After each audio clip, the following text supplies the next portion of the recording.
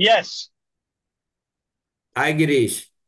Yeah, Hi, hi. our recording got interrupted. Um, there's a, Okay. yeah. So we'll um, basically, uh, in the earlier episode, we had just started talking about the theory of argumentation. Okay, how do you argue your case when there are uh, uh, multiplicity of views? How uh, you know how do you debate? How do you argue? How do you present your views? How do you examine the other person's views and so on? Okay, this is the this is uh, mm, uh, a very very important part of the development of any any philosophy or any school of thought because obviously there will be other schools of thought which will clash with you will differ with you in their approach in their hypothesis in their methodology and so on and so forth and their worldview then how do we you know how can there be effective collaboration or even arriving at a, consensus? Or if not a consensus at least um, uh, a, civilized debate a civilized discussion uh, between different approaches. So this was very very important. And in fact the nyaya sutras uh, which are the foundational texts for uh, indian logic uh, spelt it out uh, and uh, this was further um, explained at, in great detail by Charaka, the famous, you know, um, Ayurveda Pandit, who wrote Charaka Samhita, and he devoted a, large section of one of his chapters to this theory of debate. And um, so clearly it shows that even the uh, that system of medicine which was one of the sciences of that time, uh, obviously there were contending systems and contending theories and contending results of uh, if you say this this this approach to this dealing with this this affliction or this this disease you know uh, then somebody else will say no but i've tried this and that has worked and and so on. Or it might be that you have a theory of why your system is working and and so on and somebody else has a different theory of what is going on okay right so uh, um, so obviously there had to be a, a clash or a or a debate. Okay, so even uh, today we talk about scientific debate. I mean, in, in science it happens all the time. There are contending theories, whether it is cosmology, whether it is atomic physics, nuclear physics, particle physics, anything you'd look at in any branch of science, there are always contending theories, contending models, uh, and uh, uh, and so on. And only the thing is, they clash, but at the same time that clash is finally resolved through a test, an observation, and an experiment, right? But so in science, you you consider that there is a when two theories are giving the same result, then there is a clash. You can say you can there is a debate, but the settling of the debate happens only with experiment. But if both are giving the same experimental result, then they both are you can say more or less equally valid. One may be uh, more intellectually appealing than the other, and so on to certain people. So there may be two schools that come into being. For example, in the case of uh, cosmology, uh, uh, Hoyle and Narlikar uh, put forward a theory of what was called the um, uh, you know where there is both uh, constantly there is creation and destruction in the universe. Okay, it is called steady state theory. Whereas the there was another approach called the Big Bang theory, where they said that the origin the origin of the universe is in uh, uh, uh, an explosion at certain point in history in time, and that the the the universe is expanding, and the expanding matter, energy, etc., as they cooled off, created the galaxies, stars, etc., etc. Okay, now. The Hoyle-Narlikar theory, the steady-state theory also gave a certain explanation of the universe. The Big Bang theory also gave the same explanation to the universe. So how do you, uh, both were equally contending theories in the 60s.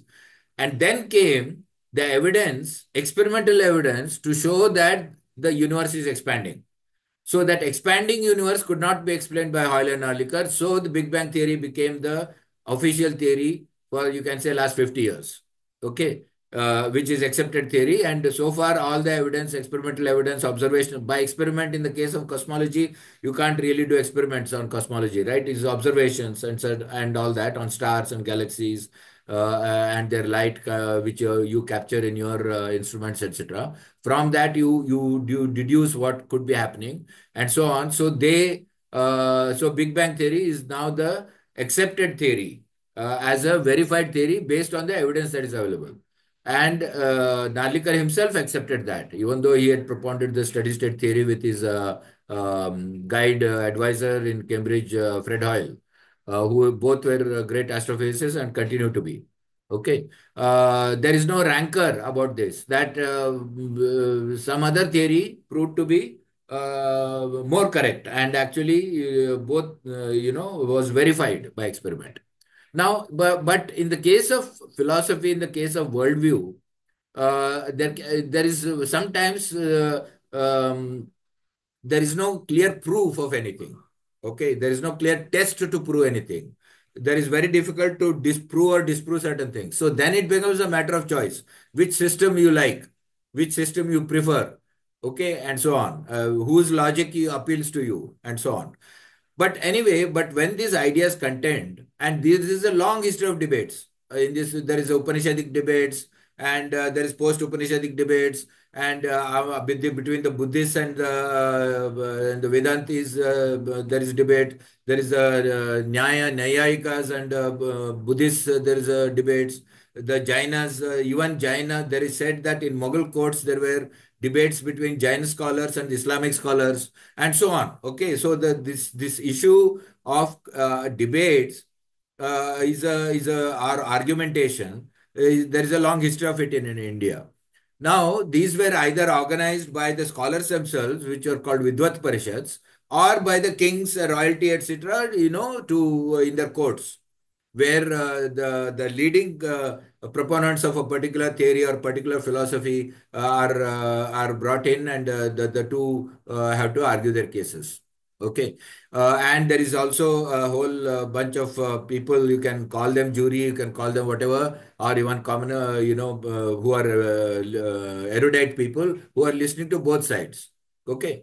Um, now, but what is the purpose of the debate? This is very, very important there are two kinds of purposes to a debate. One purpose, which is what happens most of the time in school debates, for example, or the famous debates of the Oxford Union. Okay, uh, you might you might remember Shashi Tharoor presenting something and somebody else presenting something else, and so on. In fact, there is a Oxford Debating Union, and uh, it's uh, it has been there for hundreds of years now. And Debating Union organizes debates, and we know that in almost all elite schools, people are trained to debate because then they are trained to be lawyers or even parliamentarians. This is this is a tradition of English English uh, uh, schools, uh, public schools, and that has come into our uh, school system also.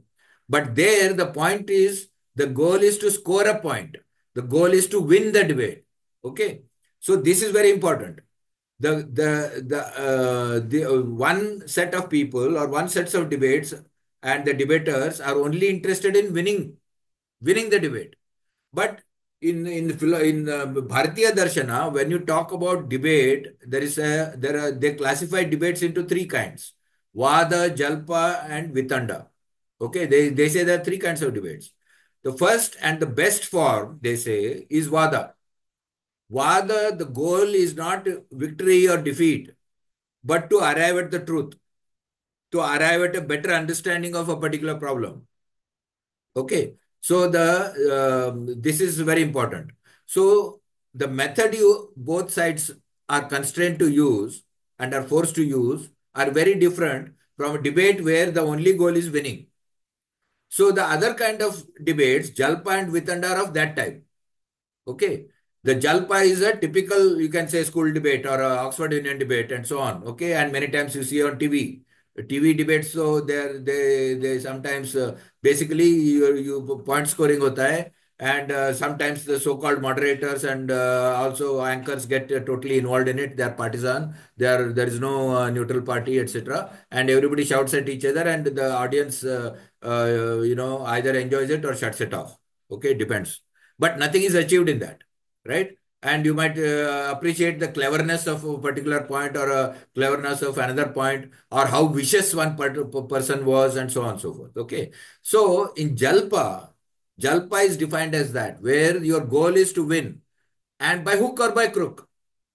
Okay, the methods you use to win that debate are by hook or by crook, which means your aim is not to arrive at the truth.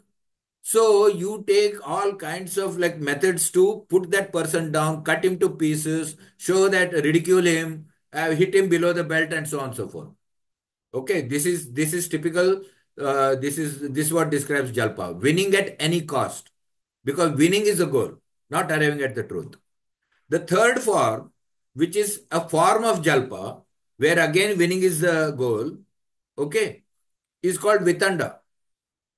That means not only like in a, in a normal debate, what happens? Both sides give their thesis and then you cut cut the other person's uh, um, uh, thesis, right?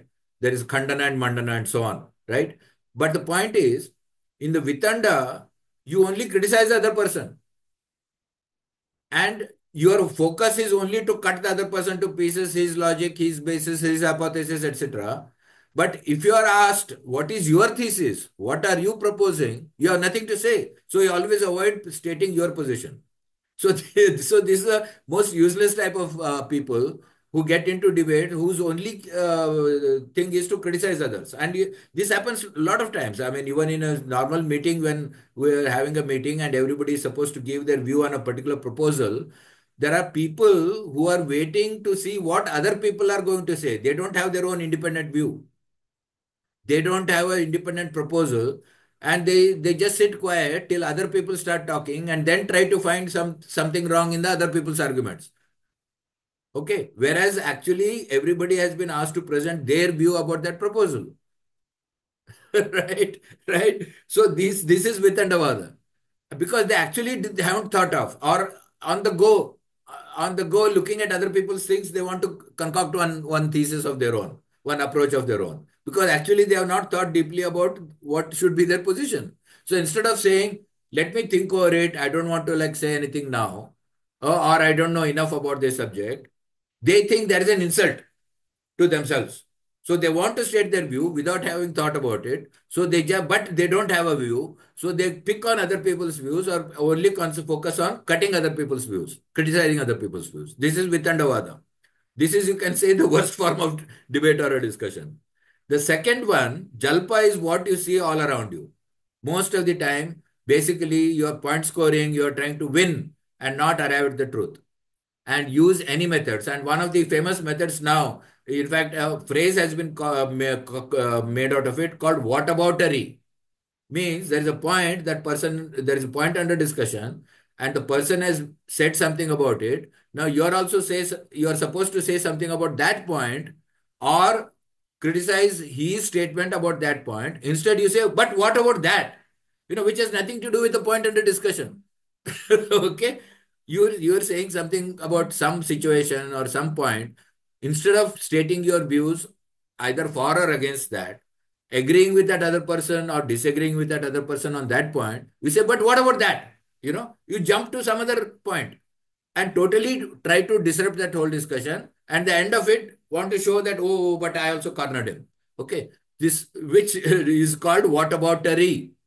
okay and this is what happens in most so-called political debates, public debates, and and especially in uh, in the uh, in the current media, television, etc., uh, etc. Et okay, so again, nothing is achieved in that. I mean, you, both sides go back saying, "Oh, I made this point, I scored this point, and I have a set of supporters, and the other person has his set of supporters, and that's the end of it." But the real up, uh, the the most fruitful approach, the Darshanika said, is Vada. In Vada, the first thing is First of all, you state your, you are, you have a, you have thought a position, you have prepared a position on that subject. Second thing is, before you present your position, you try to understand the other person's position. Okay. To the fullest extent, in the most strongest possible terms. So you in fact say that so and so, that is the other person's view is this, this, this. You say it publicly. And sometimes if you are if you are a really knowledgeable person you present the other person's point of view sometimes even better than the other person in the most strongest possible terms. Okay? This is called purva paksha purva paksha means what is the other side saying really Okay, so you should have understood it fully. What is the other side saying, etc., and what could be, you know. So state it fully, honestly, and then you put forward your views and say that why you think the other person's view is wrong or incomplete or partially correct, etc., etc., and why you think your your point of view is this. Okay, so then the other person will take your views seriously because you have presented his views. He he has also presented his views and you also said, these, these, these, these are your hypotheses, this is your method, this is what your argumentation, this is the result you're uh, reaching. And this is this is what I am disagreeing with, and I think this is what it should be. Okay. So the other person can think over it, and if he thinks that your argumentation or your logic is more powerful, or the data you're presenting is is something which he didn't have, etc., etc., the or the analogies you're drawing or, or your explanation you're giving is more acceptable, then, then the other person actually accepts it or rethinks his view. Because the purpose of both is not to win, but to arrive at a better understanding of the issue. So this is the system of Vada.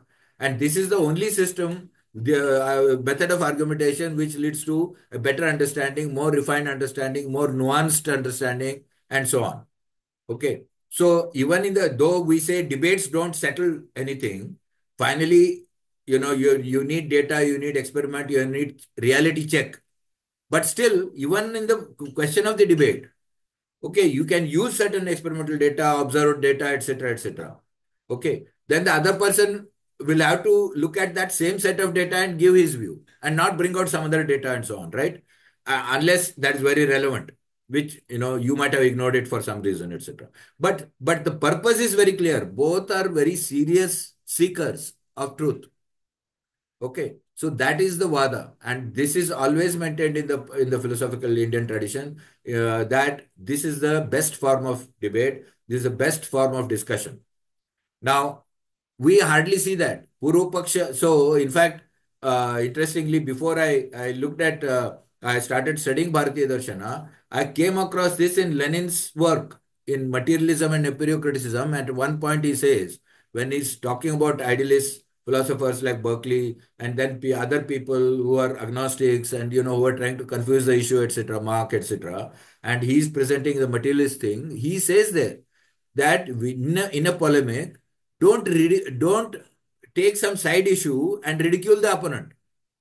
Don't catch his weak points catch his strongest points, present his views in the strongest possible manner, and then you put forward your views to say that, uh, you know, why uh, anything is wrong with that and what is the actual alternative thesis that you are giving. So I was, I was really surprised that actually the theory in Indian philosophy, Indian uh, darshanas, or how to debate, what is the Vada tradition, is precisely that. Okay. So uh, Charaka, of course, goes into great detail into many more uh, subtleties on uh, which are good debates, which are bad debates, which debates you should participate, which debates you should not even participate. Like, for example, many times it is said, no, don't argue with a murkha. What does that mean? That means that there is no point in arguing with some, some idiot, okay, just because he wants an argument because you're just wasting your time. He's not interested in arriving at the truth. Neither does he have the uh, data or any such thing. He just wants to argue for argument's sake, right? So on. So actually, Charaka, Charaka's discussion is very long, very elaborate, and uh, and he says what should be the kind of audience, what in which kind of audience, what you should be doing. So, but what it shows is that there was a tradition of debate. Okay, this is very important. Okay, because in that is how science grows. That's how even philosophy grows through healthy debate. Okay, and even today people celebrate the, the debates between Buddhists and Nyayikas uh, and uh, uh, the Mimamsakas and uh, Nyayikas and, and Vedantins and Nyayikas and so on and so forth. Okay, and they did debate with uh, the every one of them. The, the Vedic tradition, they have to like uh, debate uh, or at least mention what is the Charvaka position and so on. Okay, so though Charvaka position is uh, maybe diametrically opposite to theirs, okay, and but they have to deal with it. Now, unfortunately, we do not have the Charvaka text available to us to say how they argued, but but the the power of some of these things, like for example, one of the uh, great uh, encyclopedia of Indian philosophy was written around um, thousand years ago by uh, Madhavacharya or Sayana. It's and uh, it's called Sarvadarshana Sangraha. So he he talks about all the darshanas. So there, what he says about Charvaka Darshana, we can almost take it as representative of Charvaka Darshana because of the tradition he's he's, uh, he's sticking to. He's not making fun of Charvaka there. He's trying to present honestly what Charvaka thought. So in the absence of a Charvaka text, we have to take what Sarvadarshana Sangraha says because we think he's honestly presenting the opponent's view. So his views were not Charvaka views, but he's presenting all the Buddhist views, Charvaka views, uh, and so on, you know, all the different schools. Okay. So uh, I think uh, this is this whole thing is uh, missing in uh, today's world. And the more we learn about it and we conduct our debates and discussions and even meetings in this manner, I think uh, all of us will benefit from it. So I think we can that we can stop today at this point and uh, in the next episode, we'll look at some other interesting topic. Yeah, thank you. Thank you.